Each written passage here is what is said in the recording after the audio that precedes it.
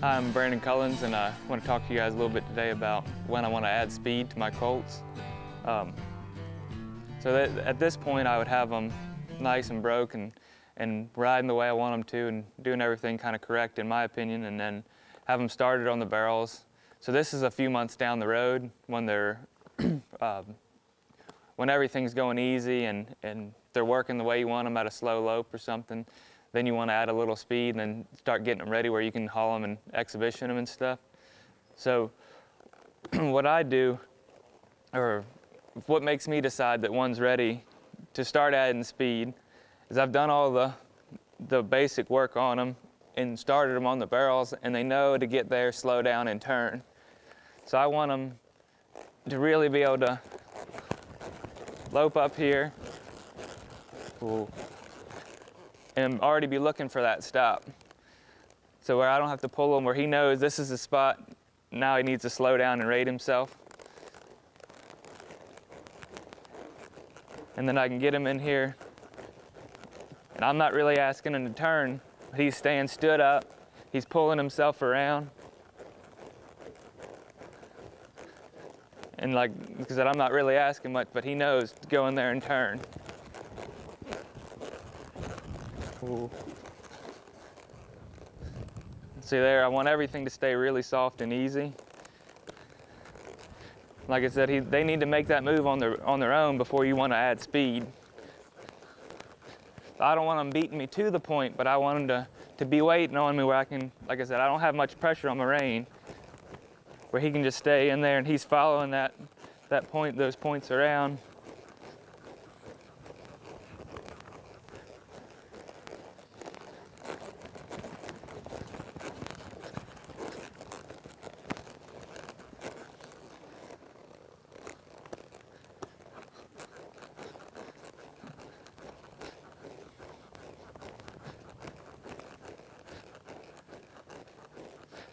So he's, I'm just kind of doing little things, keeping him in his spot. but I want most everything to be, um, to really be on him. So now then when I do go back and add a little bit of speed,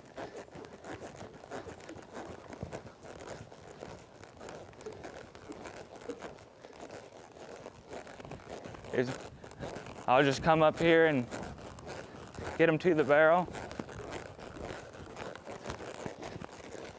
And that's okay.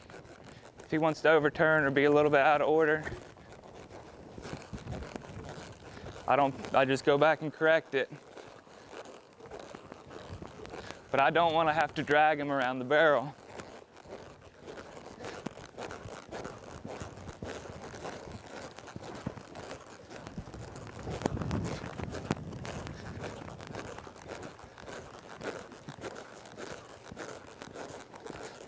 So there he kind of turned his first pretty good, but he overturned it a little bit, which is okay, that'll come out.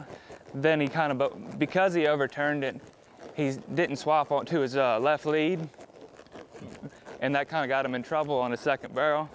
So then I'll come back, rate him a little bit, and then I'll teach him to, or kind of remind him, I want him to leave here, and then go straight over.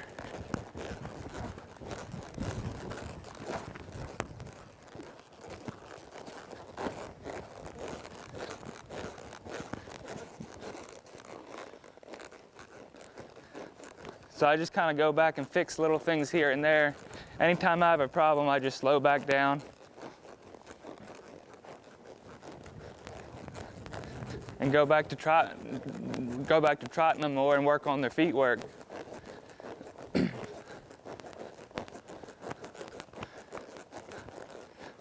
then I'll kind of go back again and then let them go, go at a little bit faster pace. This horse here is a little bit he's already, he's a four-year-old towards the end of the year. He's running harder, so he's wanting to get a little bit more aggressive.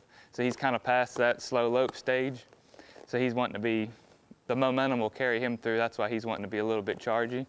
But he, or I mean, but a normal horse that's in that phase, you want to um, really kind of go to that spot, feel them set their feet, give them their head, ask them to turn. And if they do that on their own, and every time, then you can add a little bit more speed to it. But until then, like you don't want to take your horse. A lot of these horses, you can do it because if you got them broke and they know where to turn and stuff, you can run them hard through the barrel and pull the rein, and they'll turn because you're asking them to. But that's not why I want them to turn, like because you're dragging them to it. I want them to turn because I ask them to turn and then I can give it back to them and wait on them. If you're not able to wait on the horse on the backside, then you're kind of, it's going to look cool in the video, but you're kind of setting yourself back really a couple steps because the you only can do that so many times before every time you pull a horse, you stop their feet. So the more that you start pulling one and the more that they start thinking, okay, I need to turn here, everything starts backing up. So they're going to start thinking they're going to need to turn two strides in front of there. You're going to start pulling them. You're going to get them stretched and locked out like this. By the time you get to the backside, they have one option. It's flip back all the way and over top the barrel or kind of get up in the air and bail out. So that's why I really, really want to um, make sure that they're light and doing it on their own. And then uh, I'm going to go straight to my second barrel because I, I, feel like your second barrel is uh, it's the most complete turn, so it's the hardest barrel. So I really, when I train a colt, I have a couple points. Ooh. My first one's right here where I stop. I pick my rein up, I go my second point. I come down, it's almost like a box. And then I come down here to the next one and come, then I'm almost heading straight back to my first barrel. And then I come all the way out here and clear it. Then I ask them to turn back through. And this is just the way it's worked for me. I mean, everybody's got their own way of doing things. But I feel like when I can teach a colt to really, in his mind, he's thinking, I got to get there before I turn. He's never going to get stuck behind the barrel.